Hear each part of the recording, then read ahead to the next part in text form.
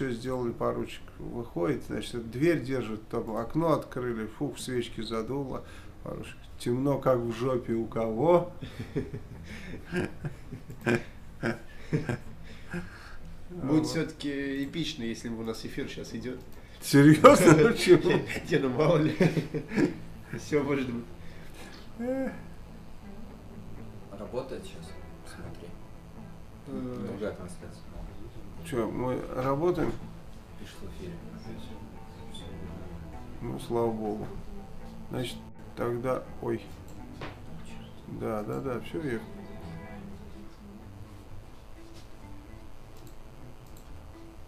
Так, эфир уже есть, идет, пишут. Ну, слава богу.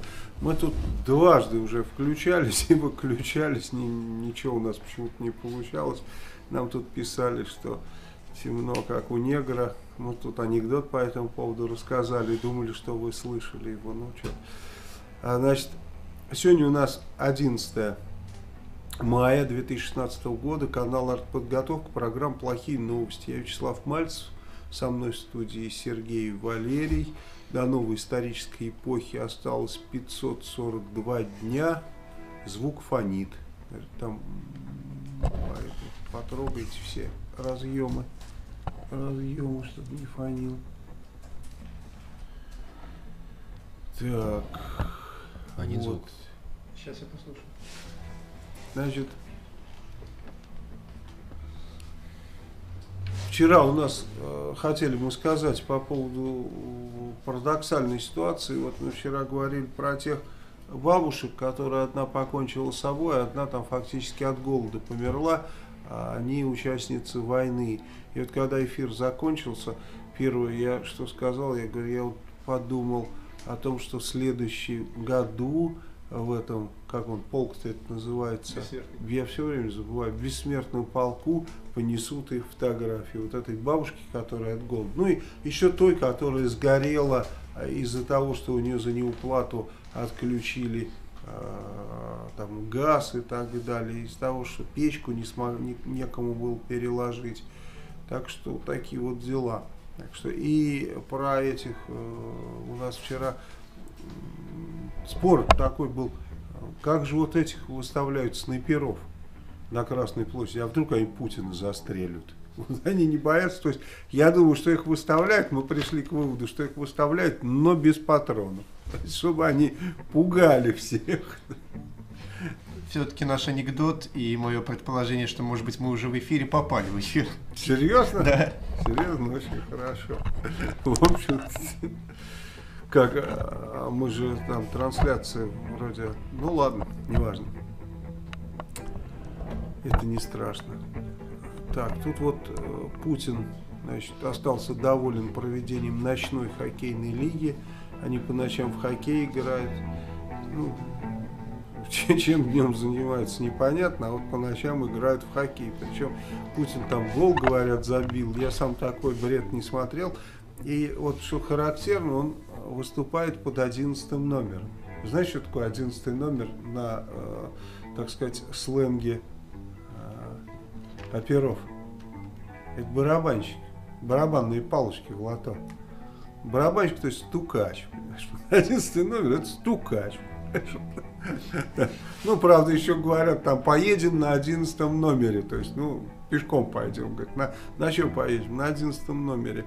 Вот, и нас в связи с этим вспомнилась деталь любопытная, да, что э, Вов Путин, он же хотел э, в ГБУХе работать еще, когда в школе учился, он пришел, как э, там у него написано в его э, кни- воспоминаниях во всяких кни- книжонках, которые про него пишут, все, что было не со мной, помню, как в песне, да, вот, и э, он, он там рассказывает о том, что он в детстве еще пришел в в приемную КГБ э, напрашиваться в работники. Ему сказали, что ему надо юридически закончить, а уж опосля. Да, что ты хотел, Валер? там а, в Саратове проходило подобное мероприятие, в хоккей в Кристалле играли. И а, Радаев там тоже участвовал в этом всем. И тоже гол забил. Да, конечно, он забил гол. Причем это выглядело просто э, очень смешно, потому что А, ну, Он за- стоять на коньках-то может. Ну, стоять может, да, но за- забивает с трудом. Смешно это выглядело, потому что, э, ну, там люди какие-то пришли, смотрят на все это дело, а по задумке Радаев должен был забить последний гол, и вот такой окончательный. Причем они играли против каких-то я так понимаю, против хоккейной команды настоящей. Вот. И что только они не делали. И пас ему сами отдавали, лишь бы он забил уже. а Он Да он никак не никак, никак не хотел. Пришлось время продлять только ради Радаева. Люди уже заждались просто, когда нас выпустят отсюда. И вчера, между прочим, была такая же ситуация. Вот я только хотел рассказать, вы вот говорите, не смотрите такие глупости. А я вчера наткнулся на эту трансляцию э, хоккея с Путиным. И мало того, что ему там тоже э, всевозможно отдавали передачи, перед ним падали соперники, лишь бы он только до ворот доехал, так его еще и всячески пытался оправдать э, комментатор. То есть там это выглядело примерно так. Шойгу с шайбой. Там, Буре с шайбой. Путин, Путин, посмотрите, какой Путин! То есть это выглядело примерно так. И я посмотрел ровно 10 э, минут, и в эти 10 минут произошла ситуация, когда Путин вышел один на один с воротами и не попал по шайбе. Вот, Вот И- это и- беда. И комментатор как оправдался, знаете? Он говорит, посмотрите, какой ложный замах у Владимира Путина. То есть он просто по шайбе не попадает. Какой прием, какой ложный замах. Ложный замах. У него постоянно ложный замах у этого Путина. Куда бы он ни бил, везде ложный замах. Самарский ветеран Великой Отечественной войны рассказал, как полицейские не пускали его на парад. Какой вот 90-летний Виктор Султанов пришел на парад за за 10 минут до начала, а его туда не пустили, потому что губернатор начал уже выступать, Меркушкин. Ну, наверное, чтобы не отвлекали губернатора читать по бумажке. Это, говорит, какую-то женщину ветеран, говорит, не пустили, и, и его. Но потом все-таки кто-то там вышел и пропустили ветерана. Какой-то часовой бессмертную душу не хотел пускать. Ужас. Ну, вот можно было бы высказаться относительно речи, ценности речи Николая Меркушкина, которую нужно, наверное, ну, вот даже, даже неохота, честно. Вот оно, само событие очень часто бывает так, что само событие никаких комментариев не требует. Эдик все время со мной спорил, он говорил, что нет, вот ты должен прокомментировать, что бы там ни случилось. Есть вещи, которые не надо комментировать, потому что отрок берет, думаешь, блин, можно прокомментировать только одним словом, бля. Вот и все. МиГ-31 совершил вынужденную посадку в аэропорту Перми. Да, в гражданском аэропорту сел МиГ. Ты знаешь, это очень сильно удивляет.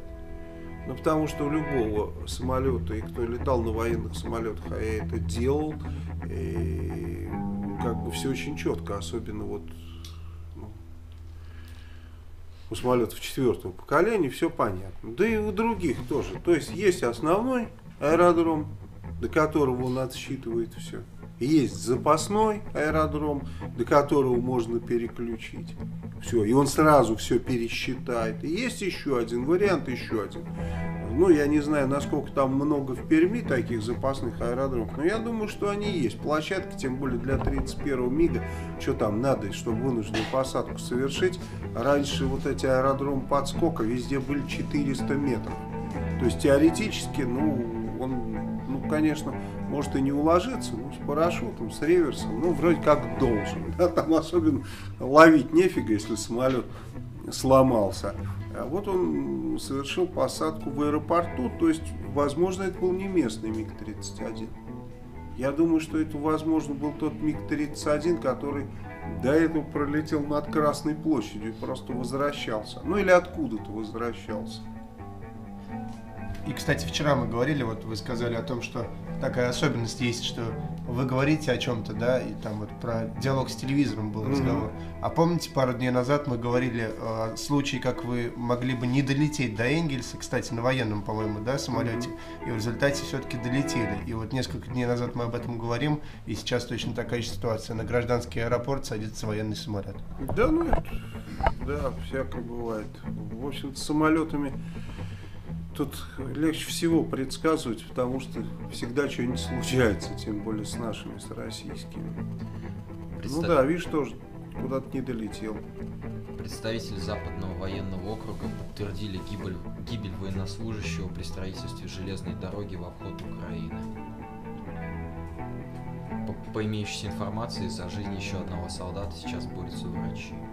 Ну, с, э, я так понимаю, большой груз какой-то сдавал назад, и двое попали под колеса военнослужащие. Один погиб, второй в медицинском учреждении. Все как всегда. Недаром говорят в армии, бойся трех ВВ. Взрывчатого вещества, военного врача и военного водителя. Так что не углядели. Двое рабочих Луганской ТЭС подорвались на гранате. Ну, гранаты, я понимаю, из-под, э, от подствольного гранатомета и подорва, подорвались случайно, потому что это не разорвавшиеся боеприпасы. Вообще я представляю сейчас, сколько в Луганске и сколько э, в Донецке этих не разорвавшихся гранат от подствольников, потому что, ну, часто, э, ну, я не знаю, ну, минимум 10% их не разрывается. То есть, э, вот если стреляешь на пересеченной местности, то иногда до половины не разрывается, потому что она падает, граната, ну, по баллистической траектории, и попадает во враг. Падает на, э, на уклон, да, вот, а врага и скатывается, и все, она не взрывается. Все, вот она коснулась боком. Если она не ударилась вот так, а коснулась боком, она уже не взорвется. Если кто-то ее, не дай бог, подхватит, наступит, там, я не знаю, собак ей играть начнет, все эта штука бабахнет. И очень часто мы видели, такое случается, поэтому э, ну, положено их там расстреливать.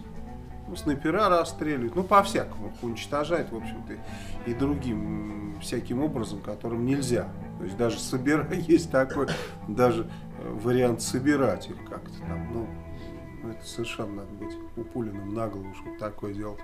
Ну вот видишь, вот подорвались. В общем-то, ну, людей надо инструктировать в таких случаях, чтобы они знали, что это, это очень реально.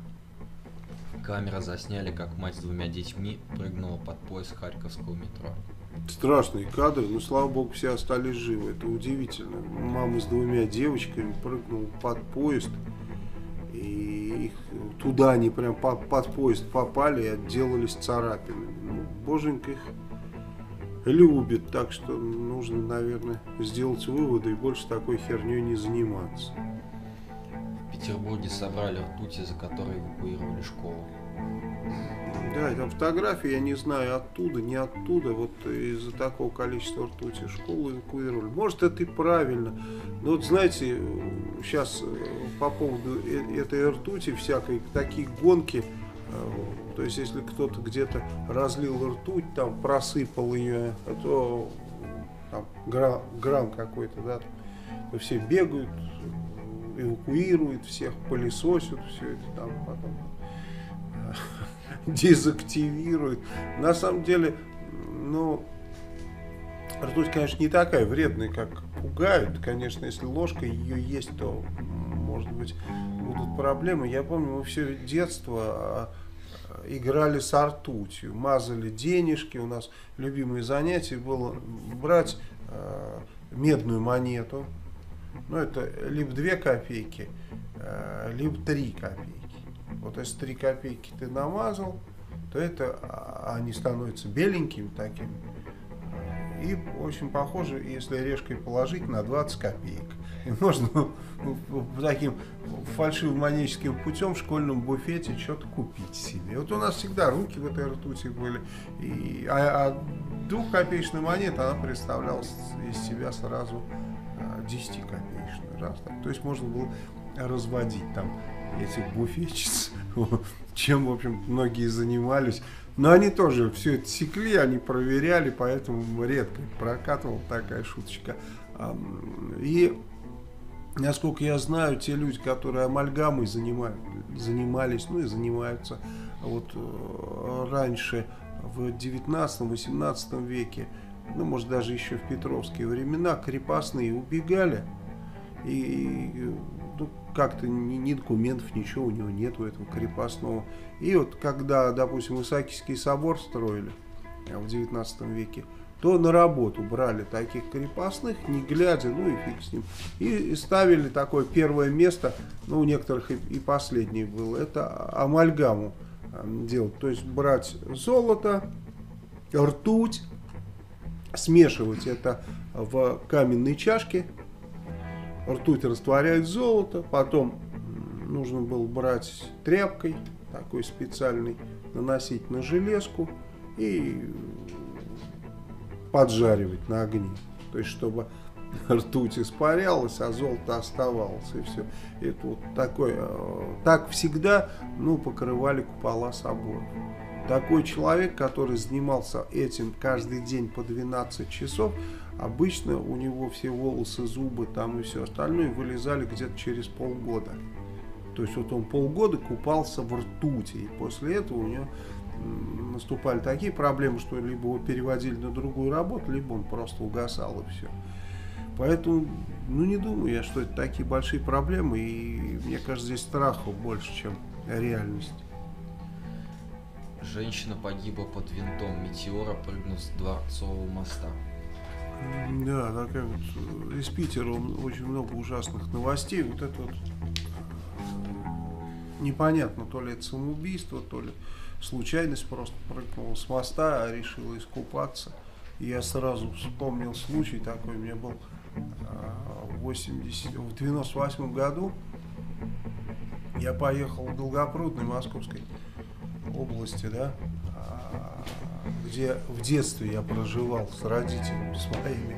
И цель у меня была взять камень, который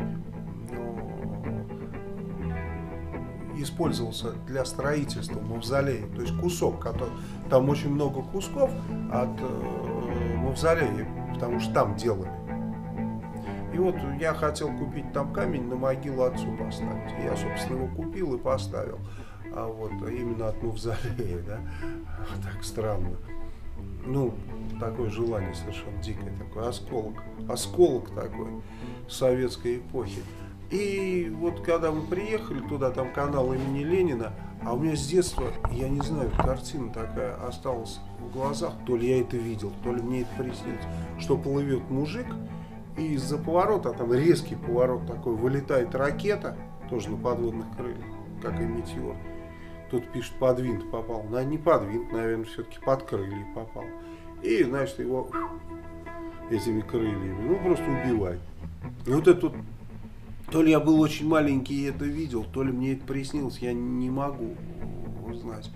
И представляешь, пришли на берег, я что-то сел, закурил, курил тогда, а помощник мой разделся и поплыл. И вот он плывет, и вдруг я вижу в глазах вот эту картину как ракета разрезает. Я как заорал сразу, прям, назад.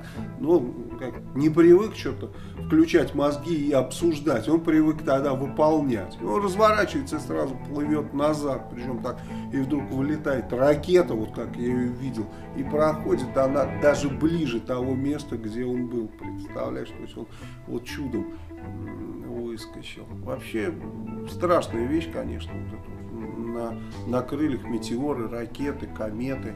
А, нужно иметь в виду, что разрежет и фамилию не спросит. Соратники пишут, что в Перми одна полоса для военных и гражданских самолетов. Ну, насколько? Да, ну, тогда, тогда. И, Просто и... здесь был упор на то, что это в международном аэропорту совершил посадку. И нам привет передает Юрий из города Покров. Пишет, ваши эфиры, бальзам на раны, спасибо вам. Спасибо вам, Юрий. Спасибо. Бетонный козырек рухнул на мать с ребенком в Петербурге. Да, я говорю, с, с Питером как какой-то ужас.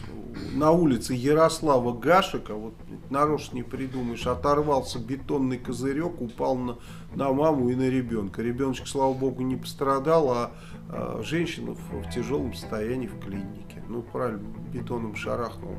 И это я к тому, по поводу платы за капитальный ремонт и всякую остальную херню. Вот у нас как балконы обваливались по всему Саратову, так и обваливаются люди, боятся ходить э, сказать, около домов. Недавно меня остановил, не остановил, а шел со мной человек наш, а, зритель. А, и ну, мы иногда встречаемся, разговариваем на улице. И вот мы идем, разговариваем. И меня на углу Комсомольской, там вот где парни зарезали, вот меня прям как это остановило. Я говорю, стоп, стоим здесь. Только остановились и туда дальше по Комсомольской, куда я собирался пройти, выпадает целый карниз, ну, правда, деревянный, вот, второй этаж, а выше под крышей такой карниз поддерживает. Он полностью, вот этот короб выпал и шлепнулся. Если бы я пошел туда, конечно, ну, мы пошли, то по кому-то попало. Повезло. То есть, видишь, вовремя остановились. Главное вовремя остановиться. В Казанском аэропорту девятилетней девочке зажала руку транспорт... транспортерной лентой. Такой вот ну, видишь, вот эти ленты и не только у нас, кстати, вообще во всем мире, как человечество, транспортеры какие-то не может придумать безопасные. Эскалаторы тоже там вот несколько лет назад в Самаре женщину порвало вот, в торговом центре, да, сколько людей побило. Вот сейчас э, здесь девочки в Казанском аэропорту руку поранил. В общем, как-то аккуратнее надо. Ну и везде должны, конечно, быть какие-то э, приспособления, чтобы быстро выключать. Я всегда смотрю вот у этих транспортеров и эскалаторов, где, а, потому что как-то, ну, сам был участником этого, упал, представляешь, в детстве а, в метро, и у меня уже руку стал туда затаскивать, а отец успел выключить эскалатор. А, ну, так немножко поранился. Я так бы оторвало вообще по плечу, наверное. А поэтому я всегда посматриваю. Вот вижу где-то внизу какие-то кнопки, не поймешь какого цвета. Ну, я понимаю, красный, черный, там все ясно, да, там красное, белое. А когда одна зеленая кнопка, а другая синяя, это как? И вот у них часто такое бывает. 90 тысяч жителей Астрахани остались без воды из-за ремонта канализации. Да, вот э, какая связь между ремонтом канализации и водой у граждан? Я понимаю, что э, скажут, да, да им же не пить, да, им купаться, так что можно и из канализации подавать. Ну не, ну я понимаю, какая связь там, все затопило, все сломалось, но смешно, конечно, Интерфакс, остались без воды из-за ремонта канализации. Сразу же вспоминаешь Древний Рим, да? То есть скажешь, да им же не пить, они постирать как раз вот из канализации. Знаешь, как в Древнем Риме э, стирали одежду в прачечных? Мочу собирали по всему Риму, да, правильно. И делали щелк такой. То есть там такие отхожие места, чтобы отлить, они прям были у у домов. Так подошел, раз отлил, оно куда-то там стекает в какой-то чан, потом мужики прибегают, рабы какие-то собирают, все нормально. Так на самом деле ничего удивительного. Я как человек, который работал в сфере ЖКХ, по крайней мере, саратовской, могу сказать, что абсолютно реальная ситуация в Солнечном у нас э, была, где так замечательно подключили новый дом, что э, была цикличная система канализации, которая потом шла в краны. Причем вот кто представляет инженерию, э, значит, водосистемы, случайно этого не сделает. Это совершенно разные трубы, это необходимы специальные насосы. То есть все это приобрели и сделали так, что кто-то смывает у себя в сортире, а у кого-то из крана это все потекло. И так вот там, ну, что-то недель полторы, по-моему, жили, потом это все как-то быстренько, ну, не очень быстренько, но переделали. Поэтому тут вот даже специально, э, случайно так даже не сделать делаешь, а специально надо очень постараться, но все равно получается. Пишет, Мальцев снова всех спас. Ну, вот так, бывает, же Там еще в этом Долгопрудном самая смешная история была, когда мы заезжаем, такие уставшие, э, с товарищем, значит, заезжаем, на входе стоит два э, на въезде молодых мента, как раз переезд на этом переезде нас чуть не раздавили, представляешь, тоже еще одна история, не буду рассказывать. Ну, то есть одни истории, и, и они нас останавливают. А, вернее, я останавливаюсь сам и спрашиваю, ну, я так понимаю, что это вот улица дирижабельная там. Я говорю, мужики, а дирижабельный завод где? Они меня вывели и заставили дыхнуть. Я говорю, ну вы, ну там салай какие-то, блин, по 20, представляешь? А я уж тогда взрослый такой товарищ был, где-то под 35 лет, да. Вот, и, э, поэтому я помню все детство, там стоял этот эллинг дирижабельный, такой, с полуоткрытыми дверьми. Завод этот был. И поэтому, когда они такие, я их спрашиваю, так переглянулись такие, ой. Нет, но у нас же здесь один наш любимый депутат городской думы предлагал в заводском районе, значит, поставить этот э, аэродром для дирижаблей и пускать дирижабли в Энгельс, чтобы не строить новый мост. Вот такую форму переправы. Это на заседании городской думы было, то есть не где-то он там прикалывался, на заседании сидел рассказывал, что это очень рентабельно. Вот. Поиски старушки, застрявшей в болоте на Алтае, сняли на видео. Это та старушка, про которую мы вчера рассказывали. Ну, что-то вот там много летает этот квадрокоптер, но он что-то старушку не снял. И вот поиски сняли, старушку как нашли, не сняли. Говорят, да, нашли. Сняли мужика в погонах, который рассказывает, что старушку нашли. Она вообще молодец, она там в болоте застряла, ее как того бегемота вытащили. Ну, старушку что-то не показали пенсионерка из Самары заказала киллеру убийство трех своих знакомых. Это вот опять та же самая херня, про которую мы каждый раз говорим. То есть бабушка старенькая, да, а, ну, ну не совсем старенькая, 61 год, а, налетел на какого-то ментовского провокатора, который, наверное, ну, наверное, пожаловалась, что женщины какие-то вот 40, 46, 60 лет, ей что-то там покоя не дают. Ну и тот на ней говорит, старух, давай убьем их, ты что, вот деньги там, давай, и мы их там убьем. Ну как они обычно, то есть просто бабку развели. Вот такой одиннадцатый номер, барабанщик развел бабку, и мы видим, это постоянно происходит. Помнишь, того деда развели, которого э, какие-то э, приезжие там, какие-то азиаты позвоночник сыну сломали, и он там везде высказывал, что азиатов надо убивать. Его пригласили в кафе, налили ему водки, этот магнитофончик поставили, чтобы он не увидел, и стали спрашивать, а как убивать? Он стал давать советы, как убивать азиатов, в результате уехал в тюрягу. Представляешь, то есть это вот такая же вот гнида, понимаешь, старушка вот это вот развела глупую совершенно, потому что, ну, понятно, что Куда, кому она закажет? Она позвонит в бюро добрых услуг. Если вот такой вот добрый не появится мент, который просто э, вынудит ее. То есть она никого не остановила на улице, слышь, ты там убей троих, туда-сюда. Она жалуется кому-то. А, а что он отвечает? А что, а давай их убьем. Вот что он отвечает. И все, и вполне я э, понимаю, как он действует. Берет быка за рога, начинает давить и все. Она становится ведомой. И ее приводят, вот прям за хобот приводят в тюрьму. Для чего? Для того, чтобы поставить палку. Представляешь, какие гниды. Обвиняемый в педофилии спорол себе живот прямо в суде. Ну, там пишут, что пытался покончить с собой. Я не знаю, как вот при помощи бритвы можно так спороть живот, чтобы с собой. Конечно, он пытался просто как-то внимание привлечь, там что-то. И не более того, потому что если бы нужно было себя убить ему, то он не делал бы это в суде, в клетке, э, рядом с э, этими приставами судебными и со всеми остальными там у нас уже пора, по-моему, открывать рубрику за самая парадоксальная попытка самоубийства. Помните, этот полицейский, который себе в горло из травматического ну, да, пистолета этот, стрелял? Да, лезвием живот да, сипуку, сипуку, сипуку, делает, сипуку делает себе лезвием, да.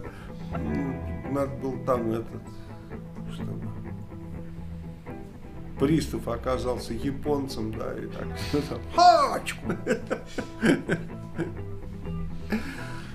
Белокожая судья в ЮАР назвала групповые изнасилования особенностями культуры черных. Харахири пишет. Ну, Харахири это вульгарно. Надо говорить сипуку. Харахири это вульгарно, да. Да, видишь, вот тут тоже судья говорит, что ну там ничего страшного, что изнасиловали. Это такая вот особенность культуры э, Южной Африке. Ну, как в том анекдоте прям получается. Потому что мальчик виноват. Помнишь этот анекдот? Да, вот.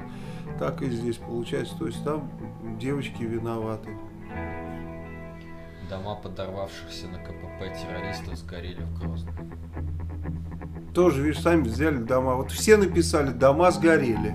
Такие вот дома сгорели. Ну, дома вот этих террористов, которые в Грозном все подорвали, их сожгли, конечно, сто процентов сожгли. А, родственники этих террористов пишут, укрылись у соседей. Вот. Ну, я не думаю, что эти родственники, после того, как у них сожгли дома, они будут как-то довольны этим режимом. Если до этого у них, может быть, и не было общих мыслей с этими террористами, ну, всякое бывает, там, люди попали в какую-то компанию, да, и так далее, то после того, что они сейчас пережили, я думаю, что это стопроцентные враги режима.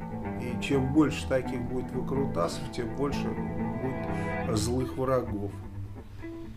Рейс American Airlines отложен из-за профессора из США, решавшего уравнение. Да, вот тут интересная ситуация. Профессор, причем итальянец, да, решал какие-то дифференциальные уравнения. Женщина увидела, что он делает какие-то непонятные для нее записки, а еще выглядит как-то непонятно. И вот попросила, чтобы его задержали. Его там садили с самолета, вот, взлет остановили, представляешь, его вернули в аэропорт, но вот выяснилось, что такая вот фигня. Причем это итальянский профессор по экономике. Да, да, ну я и говорю, то есть итальянец, э, профессор по экономике, писал какие-то формулы. А представляешь, если бы это человек занимался логикой предикатов, она вообще там сразу бы, то есть его бы убили на месте. Потому что в этих, формул, в этих формулах могли еще понять э, что там написано сами вот эти ФБРшники, да, а вот если что-то какой-то более такой предмет далекий, никто они бы просто застрелили сразу, как, блин, ну, вообще гад.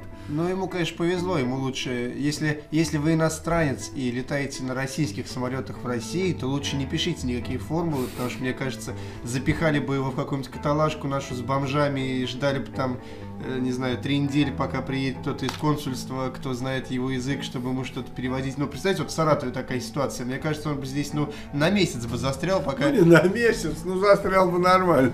Да, то есть пока, пока переведут, пока ему там зачитают все его права, а где он будет находиться? Вот с бомжами будет где-нибудь у нас сидеть. Елизавета II позволила себе крайне недипломатичные заявления в адрес китайской делегации. Как сообщила в среду газета Guardian, королева Великобритании во время приема в Букингемском дворце обвинила китайских дипломатов в грубости. Да, что-то видишь, там записали на видео, и Елизавету записали. Она в грубости обвинила китайских дипломатов и еще и Кэмерона, который назвал Нигерию и Афганистан коррумпированными странами, то есть думая, что камера не работает. И такой по этому поводу шухер, а что Нигерия и Афганистан не коррумпированные, что ли, страны? А? Он что, соврал, что ли? Нигерия и Афганистан не коррумпированные, просто обоссачка. Конечно, коррумпированные, безумно коррумпированные, как, в общем-то, большая часть этого мира.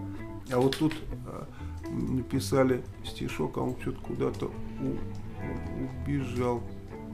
Стишок. Слава Мальцев, враг режима, давит Вову без нажима, критикует нашу власть, хочет срочно в Кремль попасть. Ну не срочно, а только 5, 11, 17, так что не срочно, пока не срочно. А может это такой вброс, а он специально сказал? Не, нормально, стихотворение мне понравилось. Это очень неплохо. То есть оно такое простенькое, но со вкусом. Я про Кэмерона говорю, может это вброс, он специально сказал. Ну нет, может и вброс, конечно, ну... Может быть, кстати, да. То есть сказал, о, не вижу, что камера меня пишет.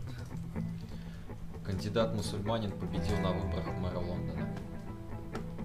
Ну, это уже старая информация, мы просто вчера не успели ее сказать. Да, теперь мэром Лондона стал мусульманин. Хорошо, это плохо. Посмотрим. В центре Афин произошли столкновения протестующих с полицией. Ну, это тоже вот позавчера это все происходило. Там, видишь, в Германии Меркель нафиг хотят. В Афинах вообще всех хотят нафиг. Вот. В Варшаве выходили то, что тысячи недовольных поляков, одни были недовольны, 240 тысяч вообще. А, то, что там хотят и Конституцию менять, и уничтожение основ демократии и так далее. И вот только здесь никто не, не выходит нафиг никому ничего не нужно, да? В Европе там, там, там плохо люди живут. Ой, поляки так плохо живут. 240 тысяч вот вышел, хотят наломать там. И причем вот российские СМИ, они же примерно так и преподносят, что вот видите, как плохо, там какие-то бунты, какие-то там беспорядки mm-hmm. и так далее. То есть даже нет у людей, не у людей, вернее, вот у этих Кисель ТВ нет понимания, да, что в этом-то и есть, в общем-то, политический процесс, то, что есть какая-то политическая жизнь, то, что есть оппозиция, есть, есть какая-то, да, власть, которая там, э, может быть, не идеально, да, то есть есть политический процесс, а у нас политическое болото в России. Да, на самом деле довольно сильно влияет, особенно людей, которые никогда не были в Европе, не понимают, о чем речь, им об этом рассказывают. Канада вслед за США и ЕС решила снять санкции с Белоруссии. Да, очень хорошее решение, видишь. Теперь Белоруссия будет не под санкциями и Лукашенко не диктатор, и все нормально. То есть Лукашенко молодец, он смог вместо своей задницы поставить задницу Путина. В общем-то, правильно сделал. Переговоры глав МИД России Сергея Лаврова и Германии Франк Вальтера Штайнмайера в Берлине начались шутки. Об этом рассказал официальный представитель российского внешнеполитического ведомства Мария Захарова на своей странице Facebook.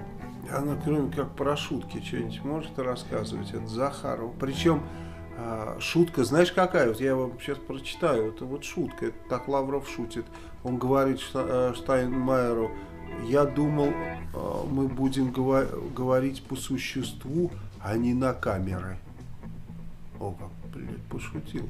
Я обоссался от смеха. Просто настолько смешная шутка. Ржали все редакции. Да, просто, просто настолько смешная шутка, что... Ну, и Лавров э, сказал, что нормандская четверка хочет выполнения Минских соглашений. Да, и вот, э, но заявил, что Киев не желает проводить выборы в Донбассе. И, значит, вот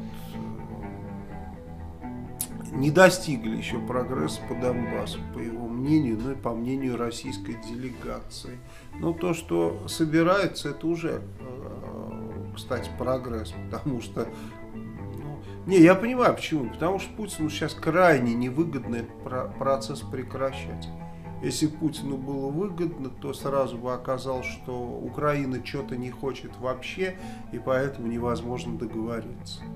Ну, сейчас ему точно это не нужно, поэтому процесс идет. Соратники наши пишут по поводу шутки э, этого, как его, господи, Лаврова. Лаврова, да, ржали всем притоном. Да, да, да. Причем, э, вот э, не факт то, что через несколько месяцев Путину ну, будет также необходимо а, вот такое же состояние, то есть продолжение переговоров там, а не ухудшение отношений. То есть может оказаться такая конфигурация его кубика Рубика. Мы же понимаем, вот как Путин делает политику. Знаете, вот возьмите кубик Рубика, я вот не умею его собирать, этот кубик Рубика. Никогда в жизни не собирал.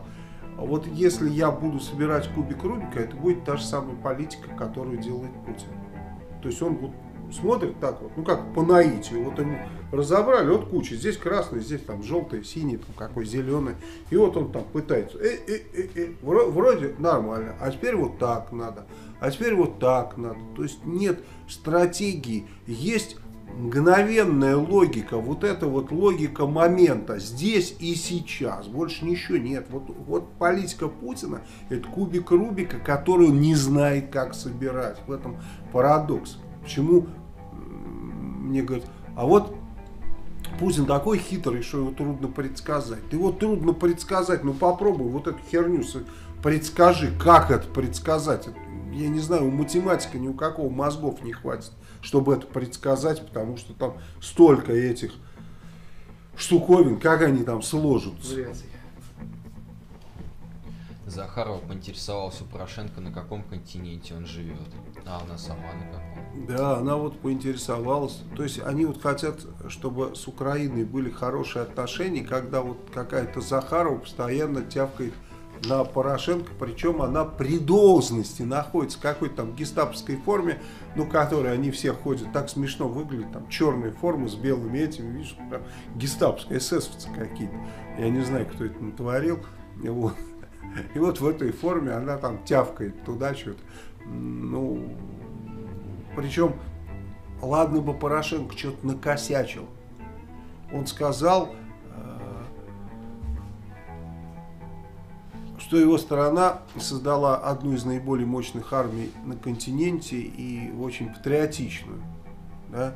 А вот, э, и, и что тут такого? Ну, это его мнение. Да, вот а на каком континенте он живет, а что, на Украине не мощная армия, что ли? Ну, если, если там не мощная армия, то почему Захарова еще не в Киеве тогда? Так что все правильно Порошенко сказал. Но видишь, вот э, она же не может по собственному усмотрению действовать. То есть у нее команда постоянно, значит, нужно оттягиваться, лаять и так далее. И стараться как-то это делать с юмором, как они его понимают. Ну, как она понимает юмор у Лаврова, и, и у нее такой же юмор. Такой, то есть, ну, какой-то прям такой особенный. Юмор мидовцев. Это такой будет особая такая категория. Есть... Ну ладно, не будем. Кокаиновый юмор. Ну, да, кокаиновый юмор, да. Как обидно, как обидно, да. Вот. Петр Порошенко отменил визит в Великобритании из-за ситуации с избранием генпрокурора и неприятием законопроектов для сотрудничества с МВФ. В Лондоне Порошенко собирается принять участие в антикоррупционном саммите. Да, собирался принять участие, но не поехал, насколько я понимаю, потому что с Радой он пытается решить вопросы, это очень хорошо.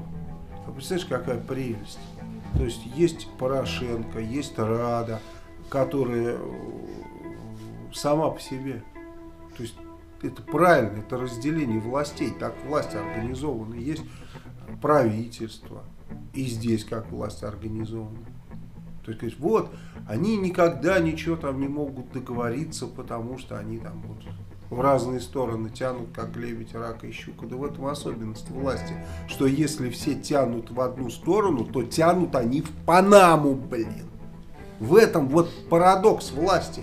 Если тянут в одну сторону, значит народ тянут в яму, бабки тянут в Панаму и тянут нас в 19 век, в рабство, в крепостничество. Вот куда тянут. Порошенко открыл памятник ясно-вельможному Гетману Мазепе. Да, но это уже вот 9 мая информация была, так что ну надо было об этом сказать что открыли памятник в Полтаве Мазепе. Такое, а, конечно, отношение неоднозначное у православных христиан к Мазепе. Потому что все-таки Мазепа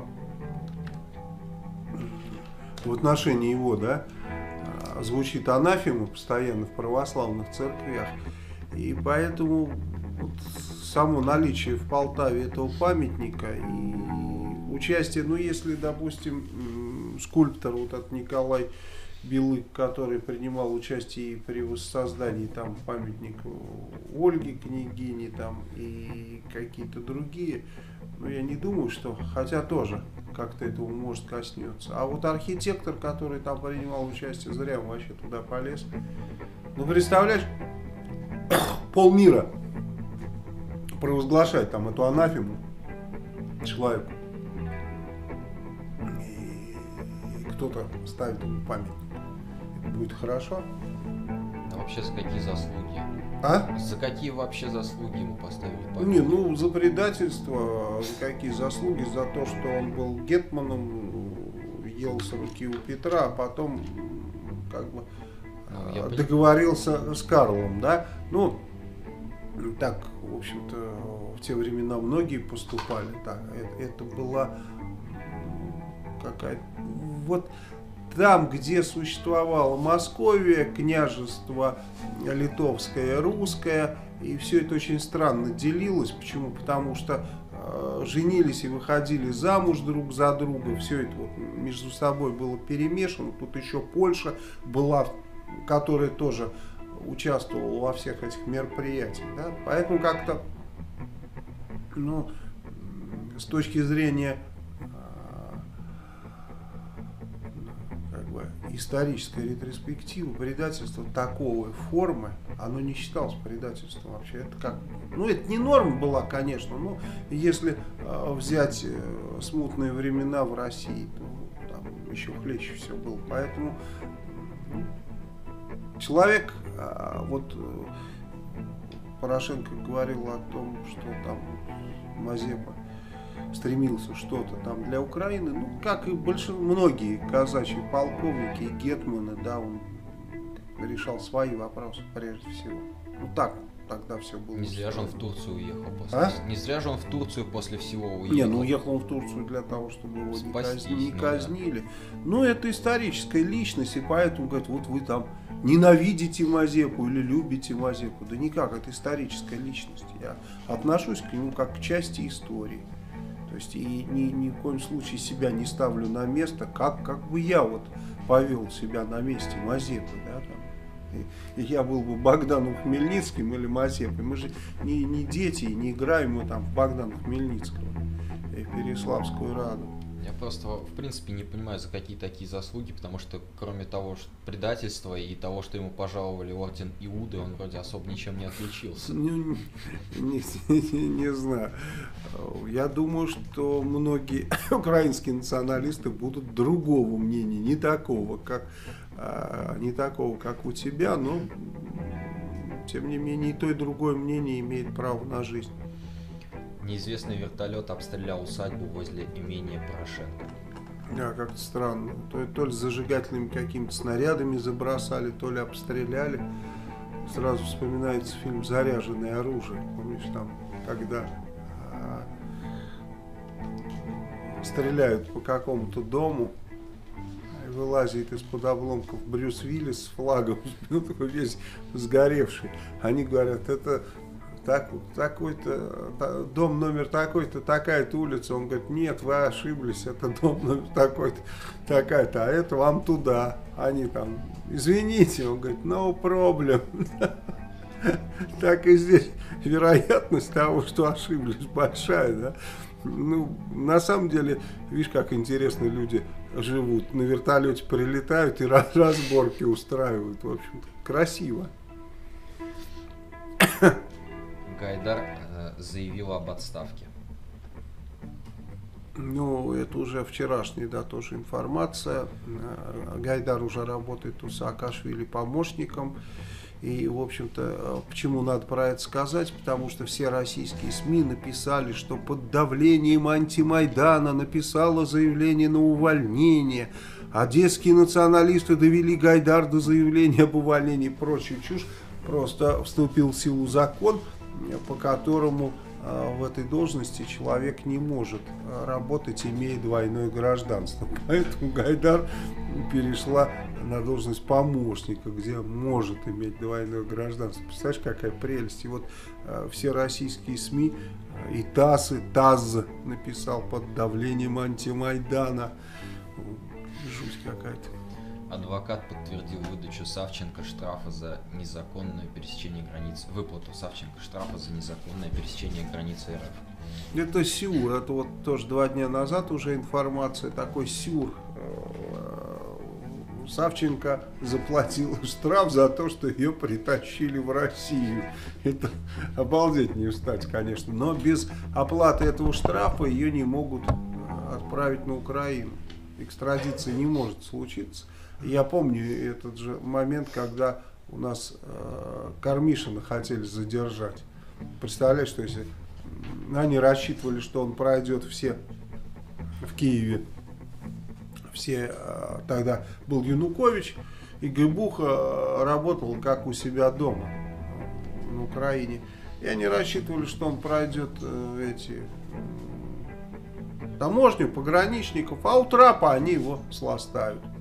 И получилась такая интересная ситуация, что его провожать пошли несколько сотрудников ОБСЕ, у которых была дипломатическая неприкосновенность, а у него была охранная грамота. И вот когда а, они увидели, что здесь камеры, что ну, ничего не сделалось, что ну, часть людей просто ретировалась, а часть, значит, вы, выпустили туда каких-то ментов, которые говорят, а вот вы нарушили границу, украинскую, за это вы должны штраф заплатить, там что-то 1800 гривен, что он тут же прям отсчитал, они ему выписали квитанцию, он улетел.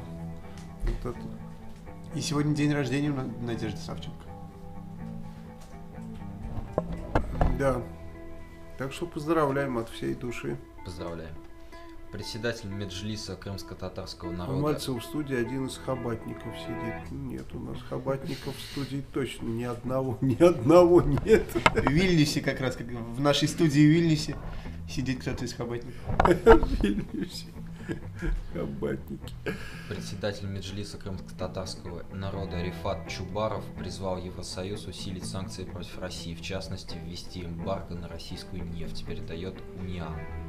Да, еще по поводу SWIFT и так далее. Я вообще не понимаю, почему давно ввели эмбарго и на нефть, и на газ, и на все остальное.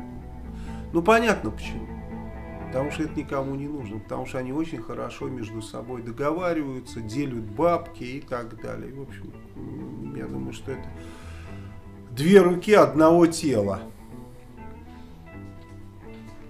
Число раненых при взрыве в турецком Дьяр-Бакыре возросло до 42.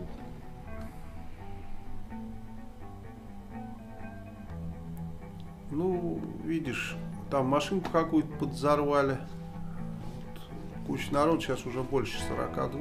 Там я не знаю сколько, больше 50 уже э, человек пострадало. Ну, классика, в общем.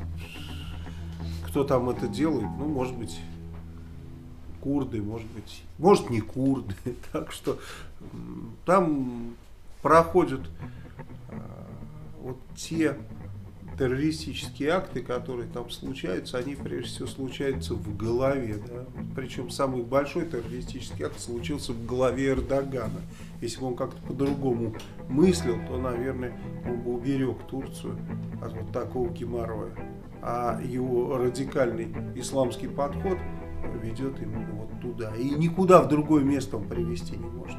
И будет еще хуже. Мальцев на Украину не гони, тебе здесь жить. Ну, нет, я жить собираюсь в России, во-первых, а во-вторых, на Украину я точно не гоню. Ни в коем случае. Зачем мне гнать? Я просто говорю, что э, люди, которые, в общем-то, такие вещи делают, они должны как просчитывать некоторые последствия которые, может быть, вот в объективной такой реальности, в материальном мире не видны. Но они обязательно, эти последствия, а, в каком-то другом мире случаются, да, может, в какой-то параллельной реальности и а, отражаются на этом мире. Я не знаю, как это работает, я знаю точно, что это работает. Поэтому это ни в коем случае не угроза, это ни в коем случае не какая-то обида. Я говорю то, что думаю. Я говорю, что я бы так не стал делать. Ну, просто а, поостерегся по определенным причинам. Зачем мне на себе брать вековой геморрой, да? Ну зачем? Ну, какое основание взять на себя э, многовековой геморрой? Поучаствовать, ну это как Путин, вот, вот та же самая ситуация с Путиным. То есть он залез в войну, которую тысячелетия уже ведут там, на Ближнем Востоке и вообще в мусульманском мире. То есть он занял чью-то сторону и начал начал в этой войне участвовать. Так что это неправильное понимание. Песков заявил, что операция в Сирии доведет российскую технику до совершенства. О, операция доведет. А видишь, вот люди не смогли довести. Он говорит, люди не виноваты, техника виновата. Как говорят, дело было не в бобине, распиздяй сидел в кабине. Так вот и, и здесь, понимаешь?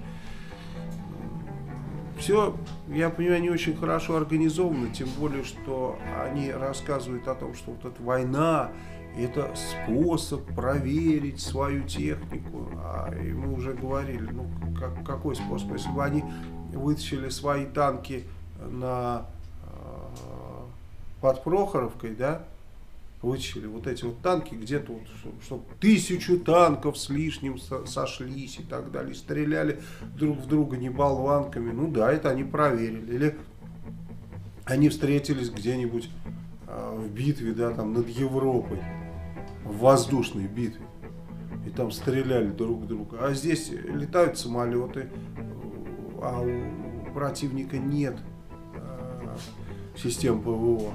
У противника нет самолетов, нет истребителей. Бомбят каких-то людей, э, совершенно спокойно, стреляют в них из пушек, а противнику и ответить нечем на это. И они говорят, мы вот тут на войне испытали. Это война, вот то, что там происходит, это война с точки зрения вот, э, летчиков, которые бомбят. Нифига себе. Там один только случай был столкновение с реальным противником. Это когда Су-24 сбили. То есть одна секунда, 12 секунд, если быть точнее, все, бэм.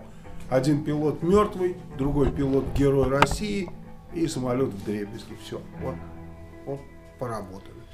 И, кстати, совсем в тему последняя информация, пока неизвестно, насколько она достоверна, но тем не менее многие российские, в том числе СМИ, написали, что связист, ранее служивший в Пскове, погиб от пули снайпера в Сирии.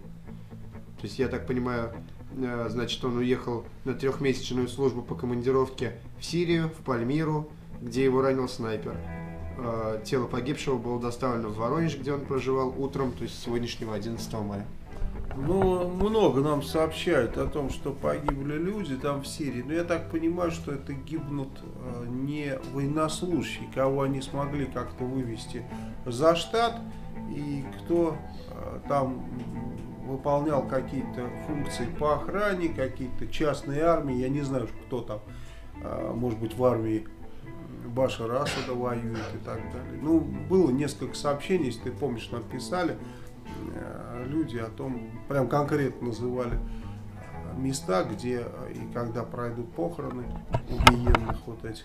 Ну и, в общем-то, возникает вопрос к тем людям, которые, э, их же никто, в общем там под дулом автомата не заставляет, но надеюсь, что не заставляют. Наших военных, я имею в виду, которые там подписывают э, документы, что они там увольняются, да, по, э, по контракту. Не, а потом... военные не подписывают, это собирают бывших военных. Ну, мы же здесь, ну, в общем, просто... общались с людьми, которые служили там. Просто сопоставить нужно, да, мы видим, как у нас вот этих ГРУшников там э, уже год они там находятся, и, в общем-то, всем на них пофигу, да, только сейчас там эту Савченко с ними хотят менять. То есть просто сопоставьте, как бы, да, ну, нужно вам э, это или нужно за какие-то деньги ехать и, в общем-то, потом вот так достаточно бесславно закончить свою жизнь, чтобы потом еще сказали, что вы никакой не военный, вообще знать вас не знали и там.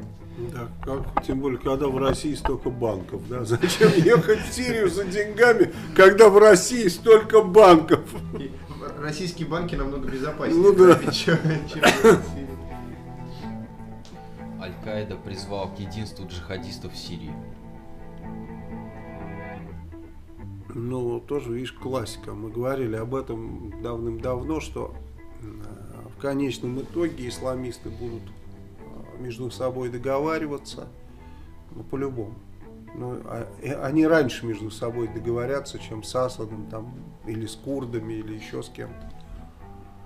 НАТО заявило, что крупный урожай мака в Афганистане принесет талибам большой доход. Вот видишь, какая интересная ситуация. НАТО заявляет про крупный э, большой доход от крупного урожая. В Афганистане начинаются какие-то движухи, что-то там на юге побеждают, э, значит, правительственные войска на севере, начинается то, что мы говорили. То есть не побеждают они там на севере, двое военнослужащих НАТО убиты в Афганистане. И тут еще интересная вещь вот такая произошла. В Душамбе с официальным визитом прибыл президент Афганистана. То есть, и там вот какие-то вопросы приехал решать. Я не знаю, какие вопросы решать. Вот нам написали, похоже, вы опять угадали. Ну, то есть мы говорили, что сойдет снег на перевалах и все начнется. Вот прибежал экстренно президент Афганистана к президенту Таджикистана договариваться. А, при этом туда же а, премьер Киргизии приехал в Душанбе. Ну, тут, в общем, по электроэнергии они приехали договариваться. Но мы понимаем, по какой электроэнергии. Мы понимаем, что все, что связано там с электроэнергией для Пакистана, Афганистана и так далее, это очень важно. Это очень важно. Но это менее важно, чем, чем общими силами дать а, отпор исламистам и джихадистам различным. Там. То есть мы видим, Путин встречается а, с Каримовым, а, вот только недавно. Причем отношения с Узбекистаном не самые теплые. Но они, тот прилетает мухой договариваться о чем-то. А, приезжает к Путину Назарбаев на 9 мая, тоже о чем-то договаривается. Да? А, с Рахмоном договариваются. Сейчас президент Афганистана, они между собой все труд. О чем они говорят? Они говорят, как в раю только и говорят, что о море. Они говорят, конечно, об исламистах, джихадистах и о том, что там случилось. Да. И, кстати, когда Назарбаев приехал, подумал, вот а, самое а, такое прикольное стихотворение. Ну, песенка была, помнишь, к нам приехал Курбаши и привез нам Анаши, да, там Анаша, Анаша, да чего ж ты хороша, такая песенка. А тут у меня как-то параллель прошла, что к нам приехал Елбасы, и привез нам колбасы. Вот. И ну, колбаса, колбаса, да чего ж ты хороша, не катит, что-то другое надо. Вот. Да, у нас сейчас на этой, на этой жизнеутверждающей ноте, да, вот э, мятежного таджикского генерала э, сына осудили на 22 года. Помните этот мятеж, вот, который был э, Назаров, там генерал поднял. Вот на сына осудили. Я так понимаю, это такой ответ Чемберлену. И в Таджикистане селевые потоки. Люди там погибли. Два человека. Так, что у нас... Вопросы? Да, сколько у нас время? У нас сегодня просто эфир будет, телемост. У нас будет телемост, поэтому мы хотим чуть пораньше закончить, чтобы где-то половину или без 25 хотя бы начать телемост. Поэтому не уходите после нашего эфира, дождитесь телемоста. Вот, будет интересно. Да. Что касается вопросов, сегодня много э, вопросов э, о будущем, о судьбе МЧС, что в дальнейшем как будем реформировать МЧС, кто его возглавит, ну, хотя бы по критериям, да, то есть какой человек должен возглавить МЧС, и мы знаем, что нас смотрит достаточно много МЧСников и из Саратова, и не только. Поэтому интересно было бы, наверное, им послушать, что с э, ведомством в дальнейшем станет. Колбаса хараса. Да, вот видишь, люди как. Я бы даже не догадался. Колбаса хараса. Очень хорошо.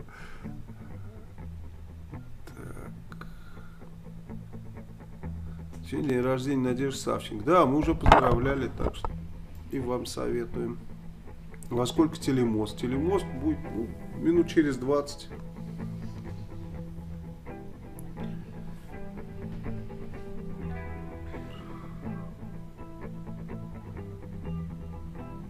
С каким видом спорта вы занимались? О, сложно сказать, каким видом спорта я не занимался, да. Я и греблей занимался, и стрельбой занимался, и чем только не занимался. И на яхте ходил под парусом, на крейсерской яхте Эдельвейс. Так она называлась.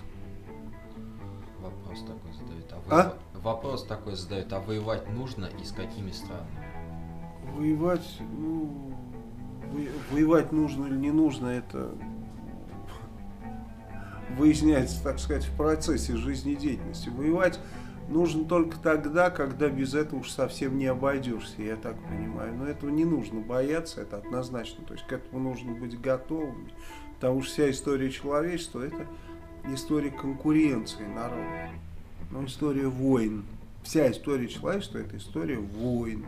Поэтому, ну, может быть, дальше будет другая история, я не знаю. Может, не будет. Может быть, будет то же самое, только другими средствами.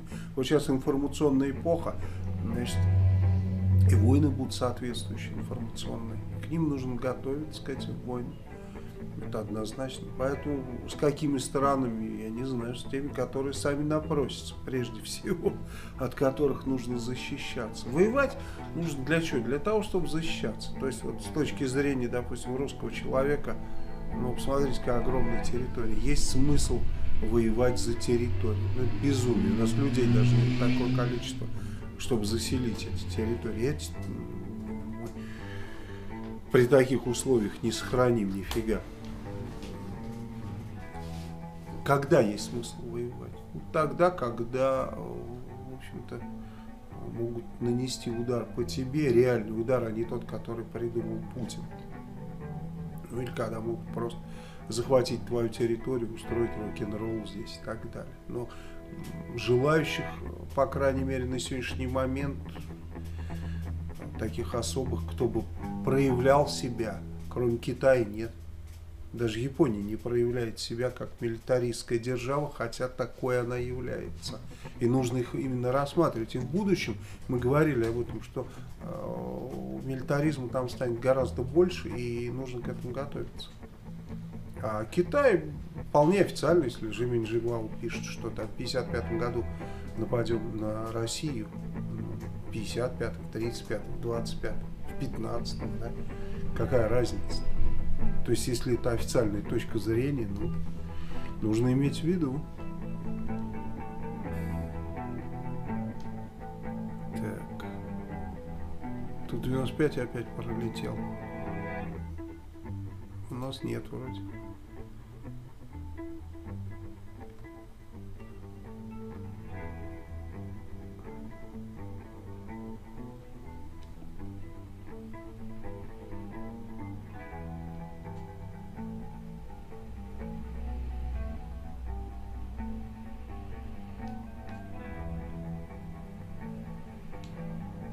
Почему был за окном? Я не знаю, может быть, окно не закрыли, да?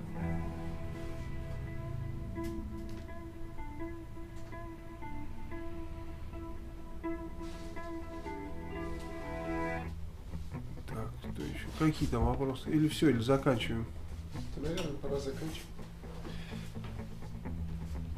Дерслав, как считаете, Россия в нынешнем виде имеет много черт фашистского государства? Черт очень много, но это не фашизм, это фальшизм. Такой обыкновенный фальшизм. То есть у Путина даже фашизм фальшивый. Вот это особенность этого человека. У него все фальшивое. Патриотизм фальшивый, фашизм фальшивый. Что бы он ни строил, он, он думает, наверное, что он строит такое фашистское государство, как ему хочется. А получается фигня какая-то такая бумажные тигры, как, как обычно.